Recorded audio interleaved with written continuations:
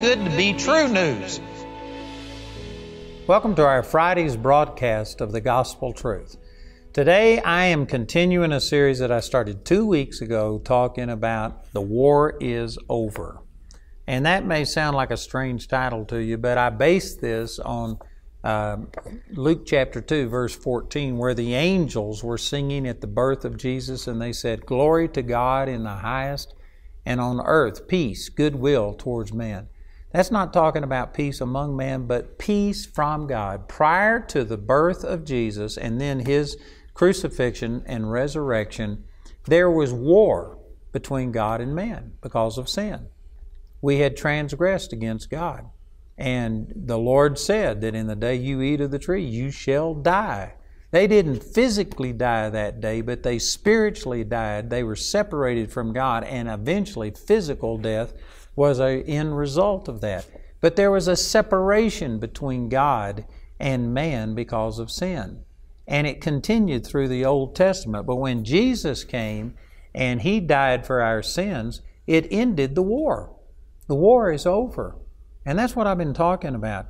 And some people think that when I say things like this, and I'm saying that God is not imputing sin unto us, and many of the things that I've said, some people think, well, you're just making light of sin. No, I'm not making light of sin. I believe sin is terrible. I believe that sin is deadly. I hate sin probably more than most people do. I'm not making light of sin. What I'm doing is magnifying the atonement of Jesus. And I could say it this way that people who are saying, oh, yeah, Jesus died for your sins, but if you sin, God is going to get you. God will not answer your prayer. God is going to punish you. God won't fellowship with you. What you are doing is making light of Jesus' atonement. You think that what Jesus did wasn't enough, that it's only a basis, it's a foundation, and then we've got to add to it our goodness. No, I'm, I'm not making light of sin. I am just magnifying the atonement of Jesus.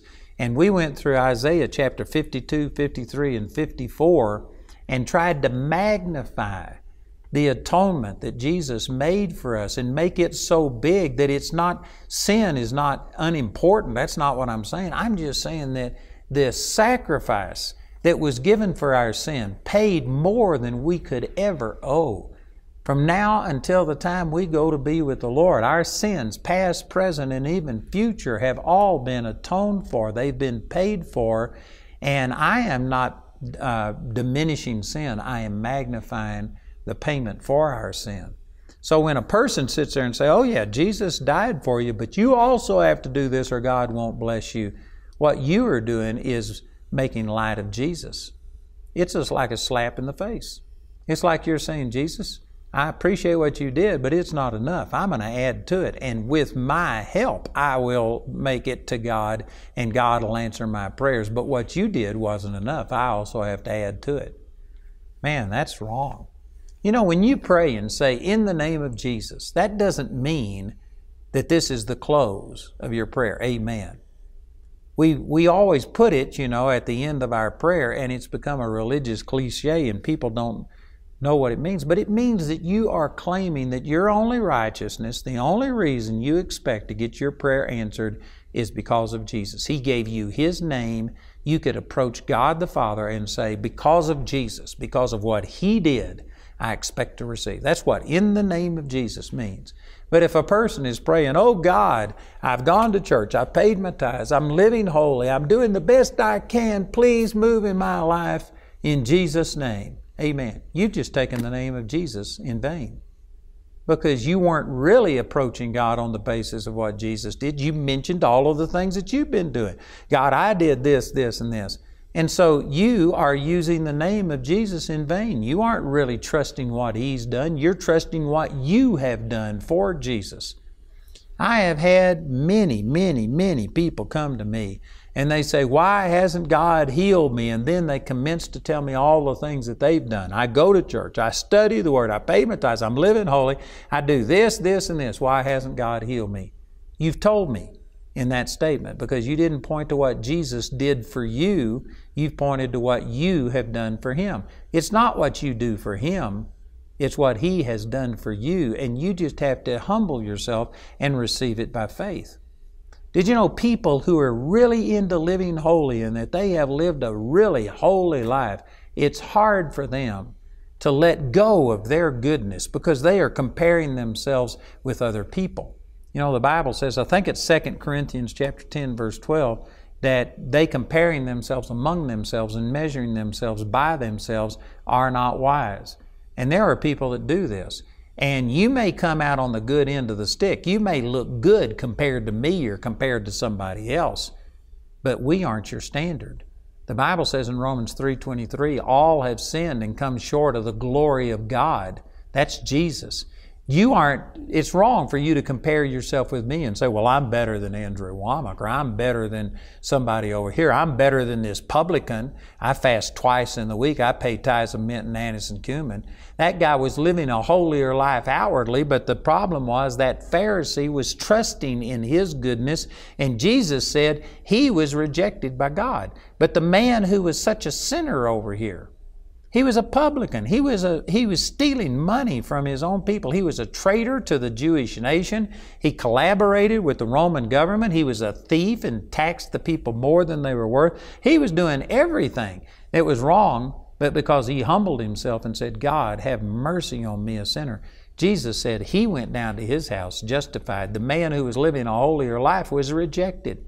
People who live a holy life, it's hard for them to humble themselves because they, they feel like all of this holiness, all of this self denial, all of this good living that I've done, it hasn't made me any better than anybody else. That's exactly what I'm saying. Who wants to be the best sinner that ever went to hell? All of us have sinned and come short of the glory of God. You may be a better sinner than I am, but you are a sinner and you need a Savior. And if you are going to trust in yourself, you will miss heaven you will miss relationship with God. Even after you're born again, there's a lot of people who get born again and they trust God for their eternal salvation, but on a day to day basis, they try and earn God's favor. And they do all of these things thinking, God, now you've got to move in my life because I've lived holy. That is not true. This is all of the stuff that I've been talking about. And yesterday I was talking about in Ephesians chapter 6 and in verse 15, you have to have your feet shod with the preparation of the gospel of peace. This is what the angels were proclaiming at the birth of Jesus. Glory to God in the highest, and on earth, peace, goodwill, the good news. They were praising God for the good news, the nearly too good to be true news that there was now peace between God and man. Over in Romans chapter 5, I read this verse yesterday. Therefore, being justified by faith, not by performance, not by your holiness, but being justified by faith, we have peace with God. The only way you will ever have peace with God is through faith.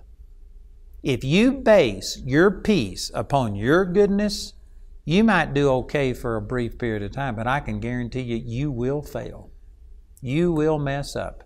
And when you do, it's like building a house of cards. One thing falls, the whole thing falls. And the, and the moment you base your relationship with God on your goodness, you are going to mess up, and then all of this guilt and all of this condemnation will come crashing down upon you, and you'll feel so rejected by God. And it's because you were basing it upon yourself, and you just aren't perfect. You may be good for a period of time, but you will mess up. If you hadn't messed up today, just wait. You will. Amen. You will fail. And even if you don't go out and violate a direct command like thou shalt not commit adultery, thou shalt not steal, you will violate some of the commands of God where it says, To him that knows to do good and does it not, to him it is sin. Whatsoever is not of faith is sin. And I can guarantee you there's going to be something that'll happen today or tomorrow that you didn't respond in faith the way that you should. We just aren't perfect. You may not always break a direct commandment, but you will always fall short of being a perfect person. And if you think that you have to earn relationship with God, there will never be peace. Even if today you were doing everything perfectly, you got to get up and do it again tomorrow, and there will be no peace. There will be no rest. The only way you ever have peace with God is when you quit trusting in yourself and quit thinking that you have to earn the blessing of God and you just rest in what Jesus did. Because the Bible says in Hebrews 13 that Jesus is the same yesterday, today, and forever. He never changes. He's going to be faithful tomorrow just like He was faithful today. He'll be faithful a year from now, a hundred years from now. The only way you will ever have peace where you can rest is when you start trusting what Jesus has done for you and not what you do for Him. That is the gospel of peace. This is the power of God. Romans 1:16, the gospel is the power of God unto salvation. And gospel isn't referring to so many things that people today call the gospel. It's specifically talking about the nearly too good to be true news that God loves you in spite of who you are, not because of who you are. God loves you because He is lovely, not because you are lovely. God loves you because He has put all of your sin upon Jesus, and if you accept Him as your Savior, then He loves you because you put faith in Him, even though you still aren't performing right. That's the only way that you will ever have peace with God. Man, that is the gospel of peace which we are supposed to be preaching. Let me turn over here to Romans chapter 6. And I've mentioned this a number of times, but I want to spend the rest of today's program trying to make this point. Paul had preached in Romans 1 through 5 about the grace of God and that it's only what God did for us. And I just quoted all of these verses. We have access by faith into this grace. It's only being justified by faith that we have peace with God. That's Romans chapter 5, verses 1 and 2. And he had just said all of these things. And because he was trying to show that it's not your performance that makes God love you, well, then the question just automatically arises in Romans chapter 6, verse 1. What shall we say then? Shall we continue in sin that grace may abound? And the answer to this is in verse 2 God forbid. And in the Greek language, this is as close as you can come to cursing without cursing. It is an absolute, unqualified, negative, absolutely not, no way, Jose, this is not what I am saying. But before I get into this, let me just say that after Paul had preached on grace, the question came up can we continue in sin that grace may abound? He has that question twice here in the sixth chapter. And then also in the book of Galatians, he deals with it twice. So, four times in the writings of Paul, this question came up about can I just go live in sin because of grace, because of God's grace? Absolutely not. And here in Romans, it gives you two reasons. First of all, let me say this if this question never comes up, when you go to church and you hear people talk about the quote unquote gospel, and if what they're saying the gospel is you got to come to church, you got to live holy, you got to pay your tithes, you got to do this and this and this before God will do that, and they're calling that the gospel, well, then you'll never have this question come up. But if you preach the true gospel, every time people will say, Are you just encouraging people to sin? Are you saying it's okay for us to live in sin? No, that's not what I'm saying. But if that question never comes up, then you aren't preaching the same gospel that Paul preached, because he had to answer it four times in the scriptures that he wrote. Man, that's quite an indictment right there. There's some of you watching this program that you've been going to church for 20 years, and you've never had this question come up. Are they just saying that I could go live in sin because of God's grace? No, that question has never come up because they aren't preaching the same gospel. They're preaching a performance based gospel, a self righteousness gospel. And that's not a gospel at all. That's bad news. Anytime it's related to you, it's linked to you, it's bad news. It's only when you put faith in Jesus that you can have peace. So he says, Shall we continue in sin that grace may abound? God forbid. Here's the first reason he gives How shall we that are dead to sin live any longer therein? And I could literally spend weeks on this. I'm just going through this very quickly. But when you got born again, your nature changed. And the rest of these verses are saying that you do not have a sinful nature anymore. When you get born again, we were all born with a sinful nature. We were all by nature the children of wrath, is what it says in Ephesians chapter 2. And so we were separated from God at one time. Every person watching this program had a sinful nature. But if you accepted the salvation that is offered through Jesus, if you put faith in what He has done for you, You were born again and you were your nature changed. Your old sinful nature was taken out. It is dead. It is gone. It is non existent. You now have a new nature. And so, the number one reason that people that are born again don't go live in sin just because God loves them by grace is because your heart's been changed and you don't want to live in sin. And if you are listening to me and you're saying, well, man, I'd love to go live in sin. I'd love to just forsake my mate and go marry this person over there. I know it's wrong, but that's what I want to do. And you are saying, I'm going to do it. I'm going to take your teaching on grace and I think I'll just divorce and go get me somebody else. Well, then you never were changed. Your heart's not changed. You may go to church, you may call yourself a Christian, but you aren't truly born again if you just want to go rebel at God and live in sin. The truth is, if you are born again, you are dead unto sin. And I know that there's some people watching this program right now saying, well, man, I know I'm born again, and yet I still have a desire for somebody else's mate, or I still desire to do things that are wrong. What's wrong with me? Well, you know, it's similar to I, I dress myself today. Nobody else dressed me, but I remember when I was a little kid, I don't know if everybody had this, but I used to have struggled to get my shirt buttoned correctly. I'd never get the right button in the right hole. And I remember, I was old enough to remember my dad sitting me down and he says, You are going to learn how to button your shirt. And so, anyway, he, he just helped me to get it so that I buttoned my shirt. And you know what? Nobody else dressed me, so I know that I buttoned this shirt, but I don't even remember doing it. It's just like it's my nature. You could say that it just, I did it without even thinking. It was my nature, but it's not my nature because I remember when I was young, I couldn't do this. It's an acquired trait, but you can program yourself. You can repeat an action over and over and over so many times that it's like it becomes your nature. So the reason I say all of this is some of you are thinking, well, man, you're saying that if you're truly born again, you're dead to sin. I'm not dead to sin. I can still go out and sin. Your mind was programmed how to be selfish, how to lust, how to do things like this. And when you get born again, your spirit's changed, but your mind's not instantly changed. You have to reprogram your mind. Romans chapter 12, verse 2 says, Be not conformed to this world but be transformed by the renewing of your mind that you may prove what is that good and acceptable and perfect will of God. You've got to reprogram your mind. It's through transforming yourself by the renewing of your mind that the life that is in your spirit begins to start dominating your soul and then eventually come out through your body. But what I'm saying is that it's a habit, it's the way you were taught that causes you to still have a propensity for sin.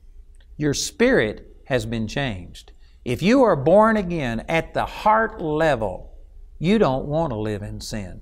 You want to live for God. You want to be free from sin. Now, you may not know the truth.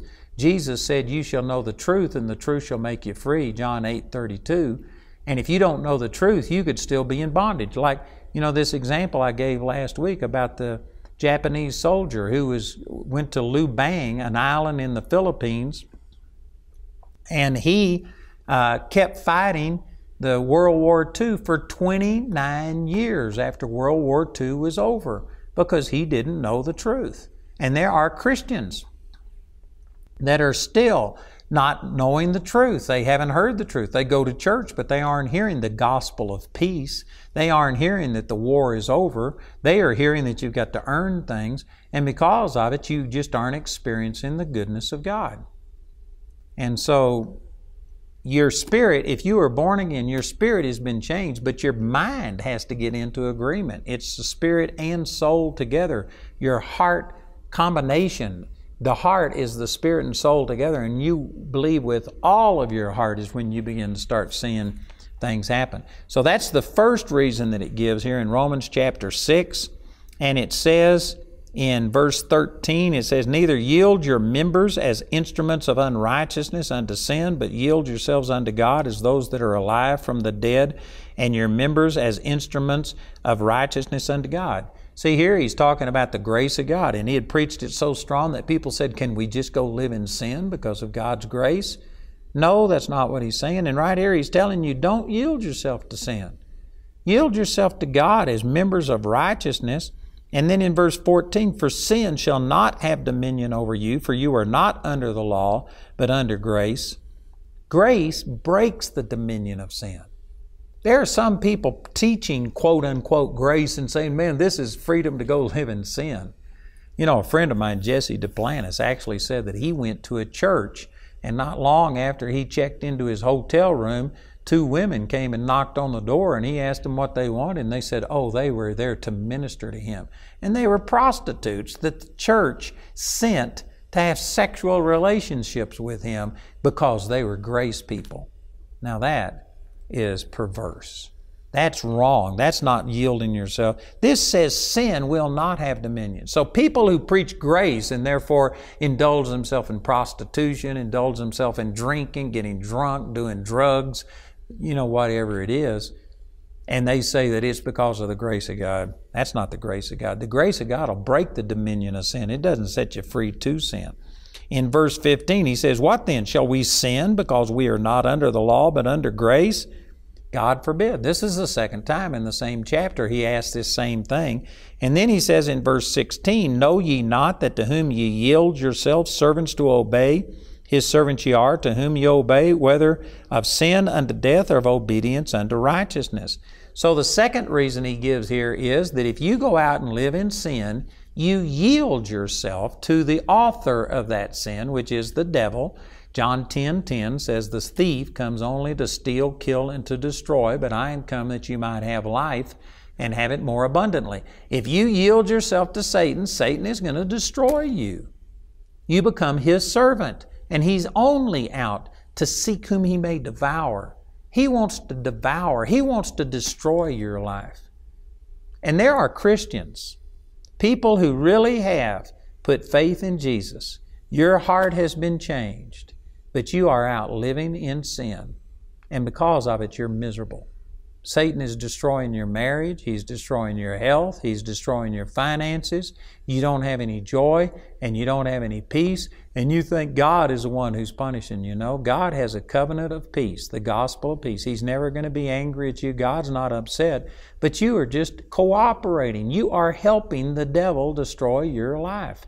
And so you need to run back to God, even in the midst of your sin, knowing that He's not going to reject you. And you need to let His grace break the dominion of sin. And then you turn against that sin and quit giving Satan all of the ammunition that he's using to shoot at you. Quit cooperating with him. You start living a holy life.